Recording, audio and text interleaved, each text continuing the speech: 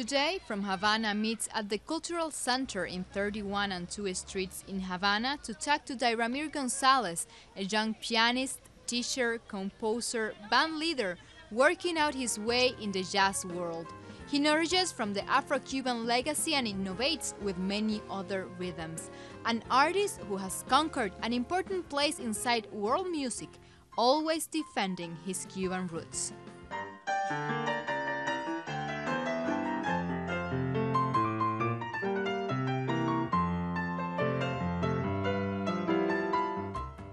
Well, Dayramir, welcome to From Havana. Thank you for meeting us today. It's a pleasure for us to, to have you in the program. You. you are from Cerro in Havana, and a very popular uh, neighborhood of Havana. You come from a very humble family, and your education took place in a kind of complex moment for Cuba because it was uh, starting the special period in the 1990s. And all this process when you were educating uh, during all, all, all, these years. But in a point, during those years of preparation and formation, uh, somehow you arrived to New York. That's why, because of all those things that took you uh, uh, to New York, that's why you, you said that your life is, is a grand concourse. um, yes, that's correct. I grew up in El Cerro, in 1990s where, you know, it was a very tough period, you know, because we used to have 12 hours of no electricity in Cuba. You know, you had to really program yourself to get water, you know, and it was very hot in Cuba, as we know. But, uh, but uh, you know, I always said that um, I grew up in a family with a lot of love, and I grew up in a family where I had the piano right there next to me, and a very musical environment what, what was very uh, amazing for me to grow up listening to my mom singing, my grandma singing, my, my, my father playing the trumpet. So every, every Sunday, my father used to ring to my, my living room. The, his friends, so I used to play the piano for, the, for him, going to the, to, the, to the kitchen, having my tuxedo, come back again. For all of you, Dayramir Gonzalez coming to do my vow and play the piano for them. So in somehow, it was that encouragement to see music, not like I'm going to spend eight hours playing. So it was like a, a very easy transition for me to, to, to practice, you know, and, and become a professional. I, I did my elementary school of music, then I did my, my as a teenager, I did La ENA, uh, and then I go to, to the US in 2010, thanks to an opportunity, amazing opportunity that I was awarded with a presidential scholarship at Berklee College of Music. So I go to the US in Boston 2010. 2013, after graduating, I decided to stay a little longer season in New York City. the Grand Concourse because I moved to the to, to the South Bronx, the South Bronx, and uh, you know I saw like a, a, a, a parallel a way of, of, comparing El Cerro with the South Bronx in New York, and I felt that it was kind of a similar environment, and I decided that you know the Grand Concourse was going to be the most suitable uh, name to portray my music, to create the platform for people to see my music right there. During your uh, educational, your music formation here in Cuba, you took the opportunity to share uh, sceneries with important Cuban artists, Cuban pianists, such as Chucho Valdés. Mm. Uh, how would you describe the influence of those artists in your career? Chucho Valdés, you know, without any doubt, he was the biggest paradigm that I had as a, as a, as a pianist. When I was growing up, my dad introduced me to Chucho Valdés and Irakere, and I got completely amazed by the way Chucho Valdés used to accompany, you know, piano solo or Mara Portuondo, having such a big dynamic range of, of a as a musician. So I always saw Valdés as the biggest example for me to follow. So and then growing up in 2008, I had the, it was at seven, I had the opportunity to perform first time with Chucho and Bebo Valdés in La Plaza de Toro de Zaragoza. And uh, 2008, he invited me to open the Havana Jazz Festival, solo piano with him, Harold Lopez Nussa, Rolando Luna. And then 2010, he prepared me. He heard this, the composition that I was going to play for, for, for Berklee, and uh, you know, continue. And, uh, you know, Chucho, they have always been someone that I admire, you know, so much. as we were saying, now you live in New York. Mm -hmm. How is that experience to present in different uh, sceneries outside of Cuba, such as Carnegie Hall? Ah, imagine that uh, one day I'm sitting in my, in my room while, while studying at Berklee, and then I received the email from Chucho Valdez saying, Chucho Valdez organizing Voices from Latin America at Carnegie Hall. So he's going to present five of the top pianists representing different generations of, of Latin American pianists. Then Egberto Gismonti, Brazil, Danilo Pérez, Panamá, Gonzalo Rubalcaba, Chucho, Chucho Valdez, and Dayramir González. Such a big honor. While studying at Berklee, 2010, November 12, 2012, coming to New York City, seeing my face in a big poster in, in, in Carnegie Hall sold out. The next day, the Wall Street Journal putting a big face of Chucho and I saying Cuban sport filled the hall. Such a great honor. I was really living what they say the American dream. it was my own dream of being at Carnegie Hall invited by Chucho Valdés, one of my biggest heroes, definitely. How do you make that your name comes out and how do you earn a space in that such complex world that is music, but especially the world of jazz? Yeah, it is a very tricky uh, uh, genre because it's, it's, so, it's very niche. You know, jazz music is, is so, it, it kind of so, so philosophical and somehow that uh, the market is very niche. But uh, there is always a big audience already for it.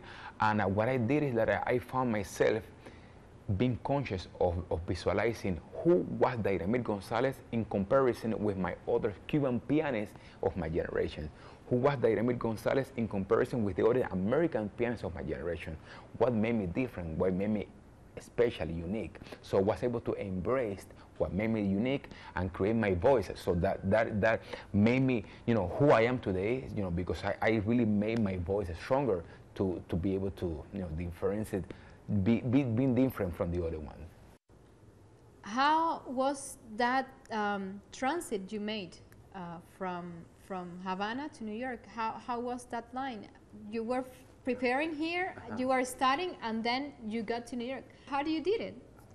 Okay, I, I, was into you know in 2007. We need to go back to 2007. 2007, I did I made a tour in Spain with Chucho Valdez, Diego El Cigala, and Bebo Valdés. I performed in La Plaza de Toro de Zaragoza for 15,000 people. So that performance really opened the door for me to be signed with a performing right organization that is called SGAE, S-G-A-E. Uh, SGAE in Madrid, performing right organization, so they decided in 2009 to open to, uh, they were awarding one, $1 million to support seven presidential scholarship for SGAE members. So me and many other uh, Cubans decide to, you know, to do the audition in Mexico City to, to apply for Berklee. And I found out that uh, I was the only Cuban accepted.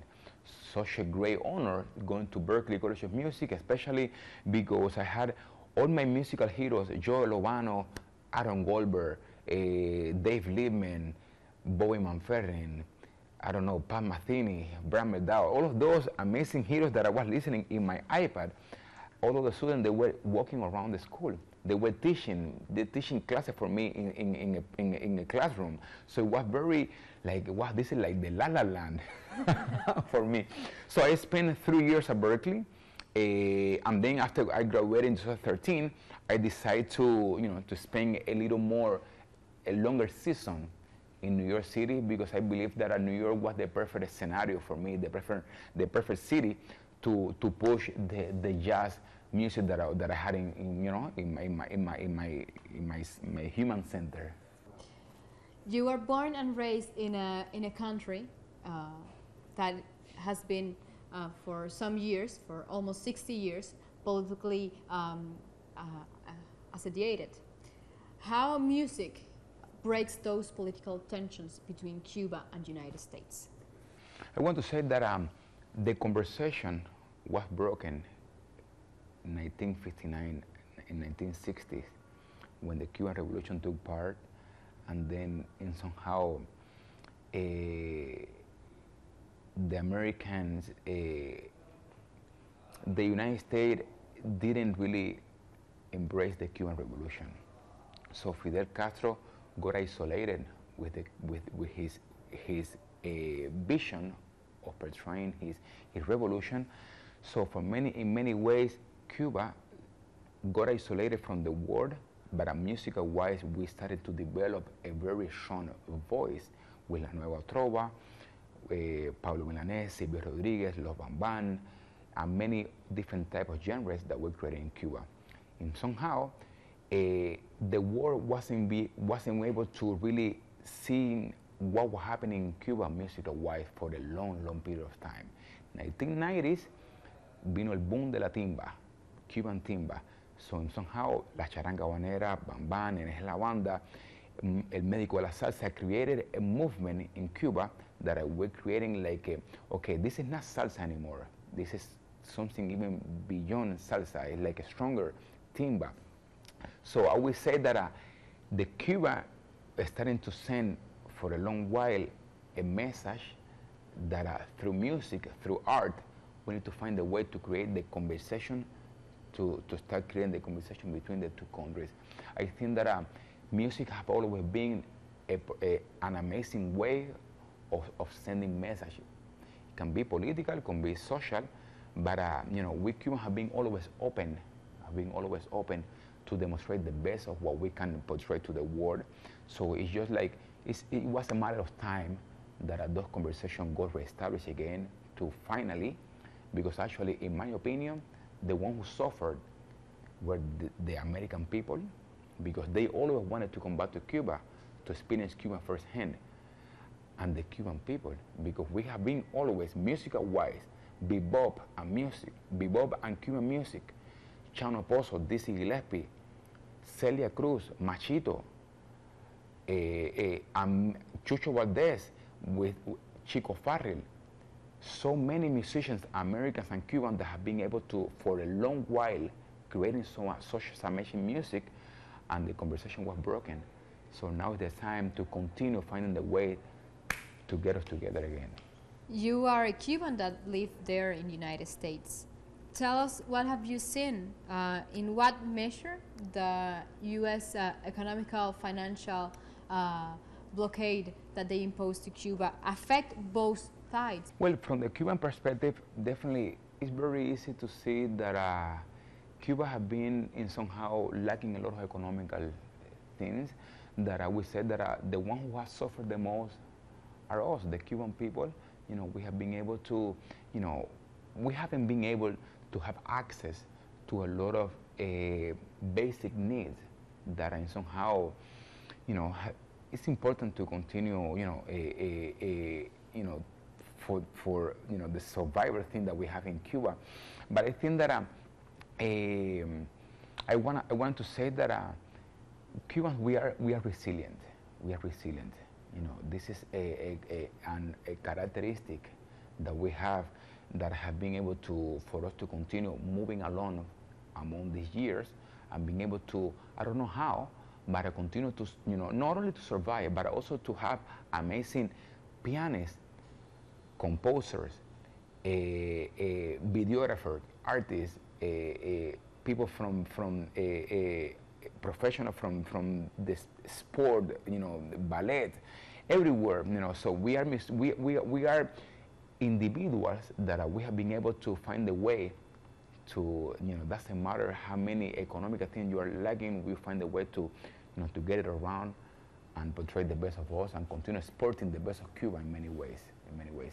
One of the things that have uh, make it odd, have, that, that have made odd the relations between Cuba and the United States recently are the, these accusations of, of a supposed uh, acoustic attacks mm -hmm. that occurred here in Cuba to U.S. diplomats.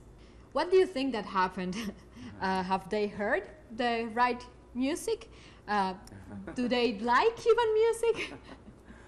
Well, uh, probably the, the acoustic uh, sonic problem was like uh, you have a, a, big reggaeton car open, you know, in, in, an open car, and, and it was too loud that they go, and, you know. I mean, it haven't been proven, you know, in my perspective or what I have heard, I have been reading about it. it haven't been proven of any any attack.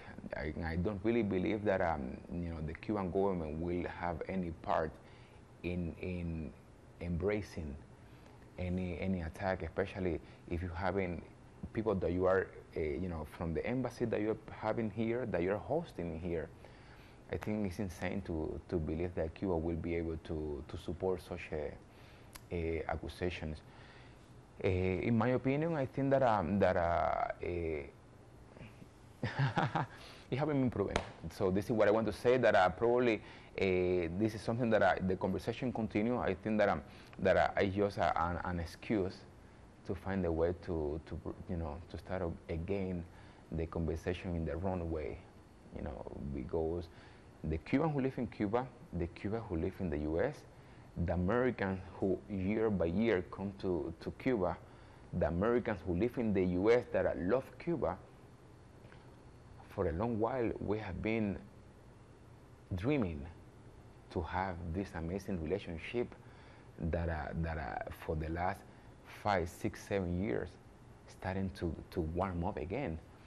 So I believe that uh, there, you know, I think it's insane to, you know, to find a way to find excuses to, to go back to make a call again when you know when everybody have been able to you know to get a you know take advantage of, of the amazing thing that uh, Cuba and the United States the, the Cuban people the people of Cuba and the people of the United States have been able to again come back and without any fear to travel freely to Cuba to experience Cuba firsthand Cuban musicians going to the U.S. experience the music there uh, Americans in Cuba to be able to, you know, to, to, to, to see Cuba from the Cuban perspective.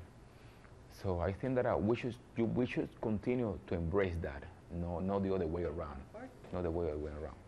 Recently, Cuba's President Miguel Diaz-Canel was, um, in fact, saying to Telesur, he was saying um, that there, in fact, there was a rollback in relation, the relation between Cuba and the United States.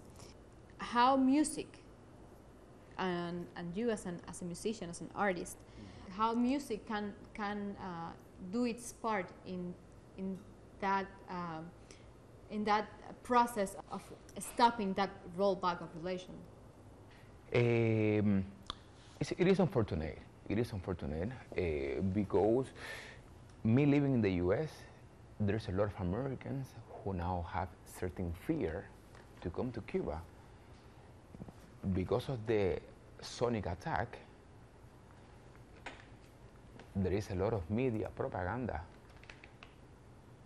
telling Americans if you go if you go to Cuba, be careful because such and such and such can happen, and nothing further from the reality. You know, if you come to Cuba, it's probably probably at, at least at least no, I would say that it's probably one of the safest place to be.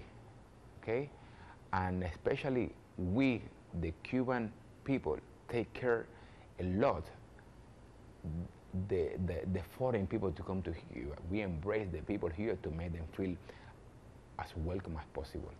So for me, uh, I think that uh, it's, a, it's a fear that they are implementing in, you know, in, in the Cuban Cubans and Americans who want to come to Cuba, and they have right now certain fears that uh, you know it shouldn't it shouldn't it shouldn't happen.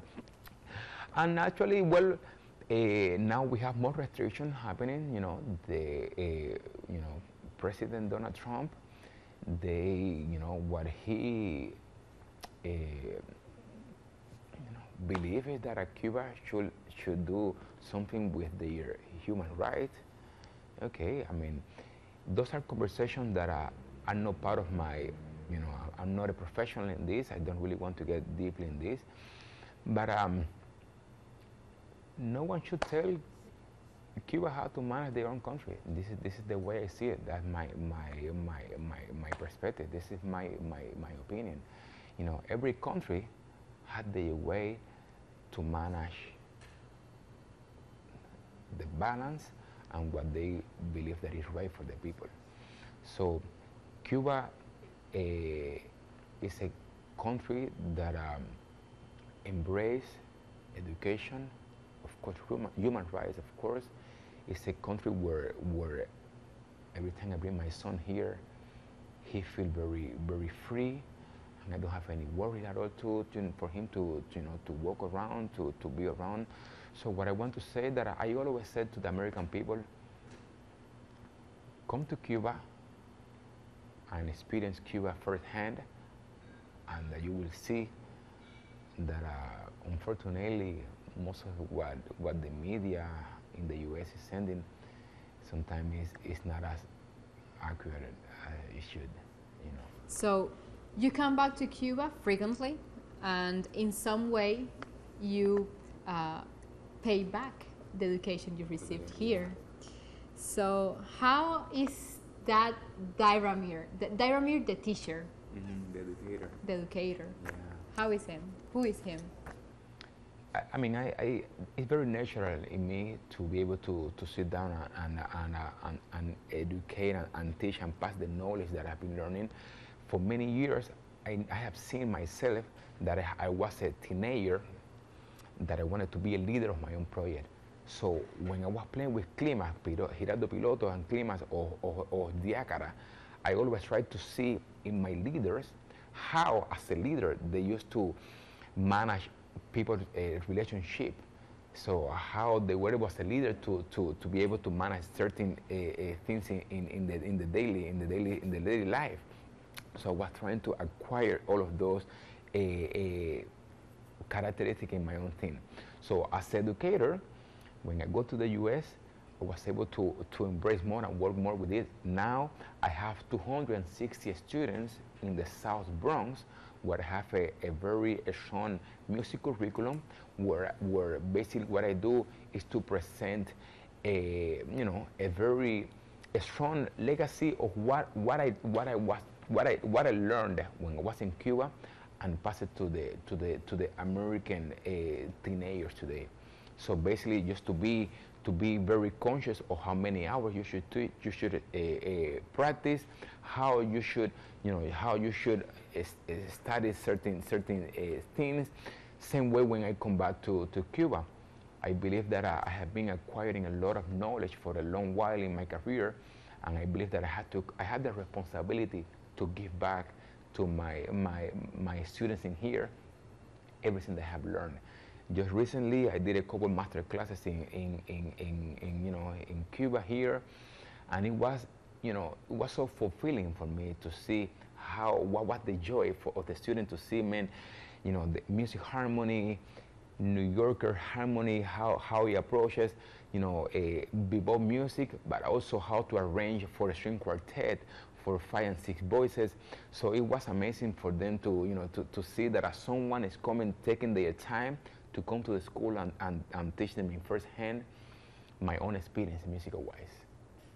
As a music stu student that you were, and now as a teacher, which would you say is the secret of the artistic education in Cuba? Is it because Cubans have much um, talent, or because the Cuban education is out of this uh, uh-huh. this planet, uh, or both? Mm-hmm.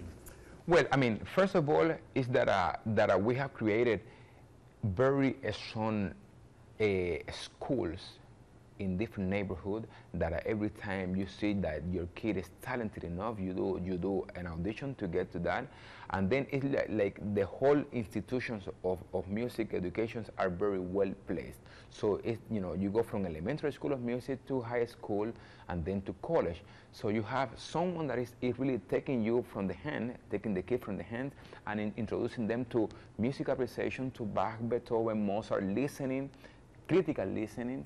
The same with a solfege, ear training, piano, composition. So somehow you have a very broad student from seven years old all the way to 20. So when you graduated, you have a such a strong platform already created that you are ready, you know, to go to, you know, to go out there. I really want to say that now that I've been coming more often to do master classes, I think that also, you know, that uh, the Cuban Cuban school should be able to, to, you know, to develop a little more the popular side because there is a lot of students who, you know, they love grinding for for for salsa, for jazz, for for you know, for a lot of different type of popular genres, and today we don't have yet in, in, elementary and high school of music in Cuba yet.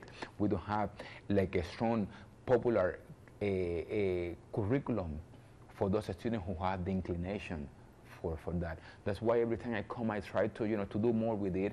You know, they, they really want to learn how, you know, how to write for the band, how to do this for that. So it will, you know, it will be great if we continue, you know, improving, improving that sense in the popular side. For a while, you've been taking forward this project of the Art School of Contemporary Performance and Creativity, uh, an educative, uh, educative program mm -hmm. in South Bronx.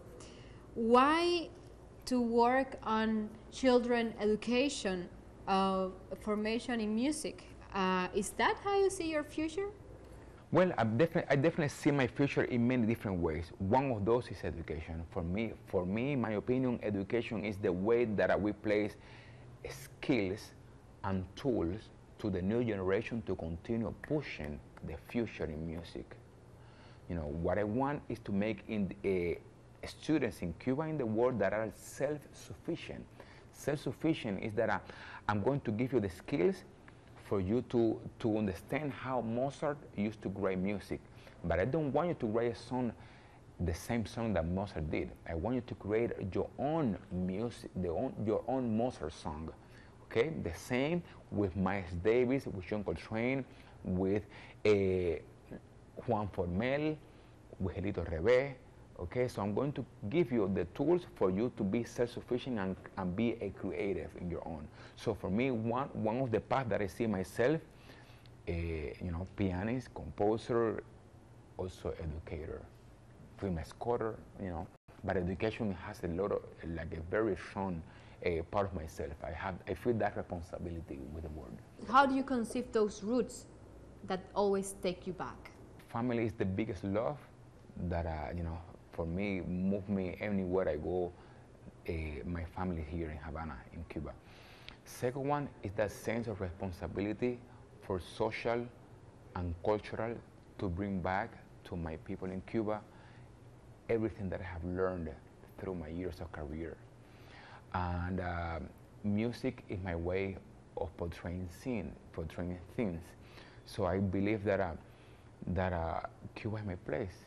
You know, I'm a Cuban pianist who is based in New York. When I tour the world, they present me as Dayramir Gonzalez, Cuban pianist and composer. So for me, Cuba is my, my face, is who I am. So that's why coming back to Cuba is just researching my batteries, is my soul, you know, to come back to my root, who I am, and then to come back and continue shining and bringing back everything that I know from, from Cuba abroad. Well, Dayramir, thank you very much for meeting us. I hope that we can get in touch again soon. Of course. I wish you good success. Thank you. And we'll meet again.